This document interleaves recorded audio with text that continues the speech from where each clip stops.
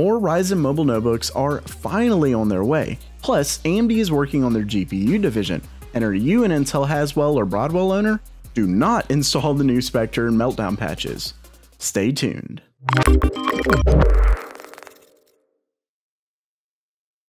Welcome back to GamerMeld.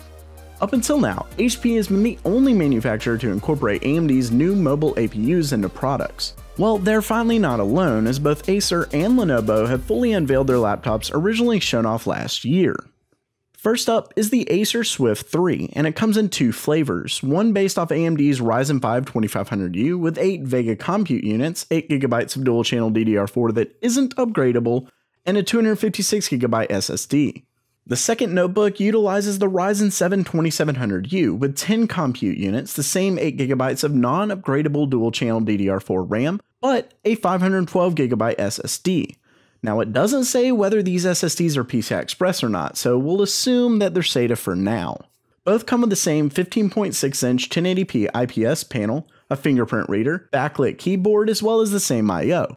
Speaking of I.O., they boast an 802.11ac dual band Wi Fi module, one USB 3.1 Type C, two USB 3.0 Type A ports, one USB 2.0, and one HDMI port.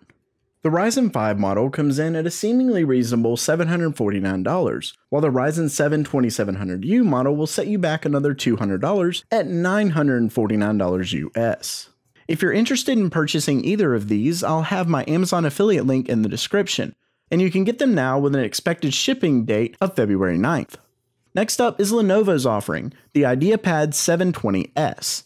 This new laptop comes equipped with a 13.3 inch 1080p IPS panel, Ryzen 5 2500U, 8GB single channel DDR4 2133 RAM, which it is important to note that Vega is very dependent on memory bandwidth, so hopefully this won't affect its performance by too much, but I don't know. It also comes with a 512GB PCI Express SSD, fingerprint reader, Dolby Atmos, 802.11ac Wi Fi, and also Bluetooth 4.1.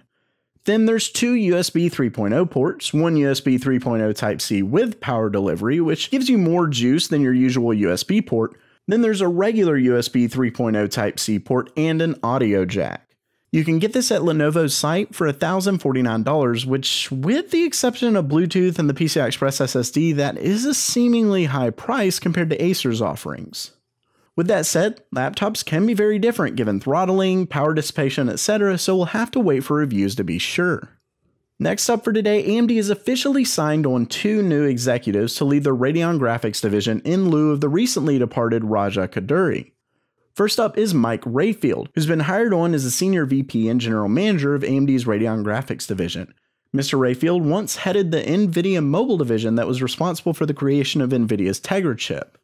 The second hire, David Wang, is coming in as a senior VP of engineering for AMD's Radeon division. Mr. Wang has worked for Synaptics prior to the hire, but he's also worked for AMD in the past. Hopefully, these two new faces will spark a fire under AMD's graphics card division to push the boundaries on GPUs so they can better compete with NVIDIA. Fingers crossed. Lastly, for today is an update from Intel on the issue of random reboots plaguing Haswell and Broadwell based platforms after the Spectre and Meltdown patches. Originally, it was found out that Intel was telling data centers not to deploy the updates just yet, and on the 11th, they still told end users to continue deploying their updates.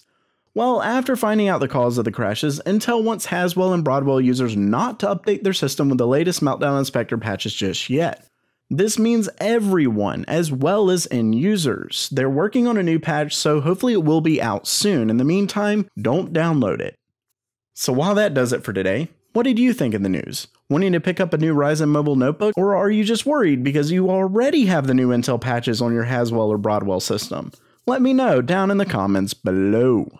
That does it for now. If you liked the video, don't forget to subscribe by clicking on the round icon in the middle. You can check out the most recent video and suggested video to the left.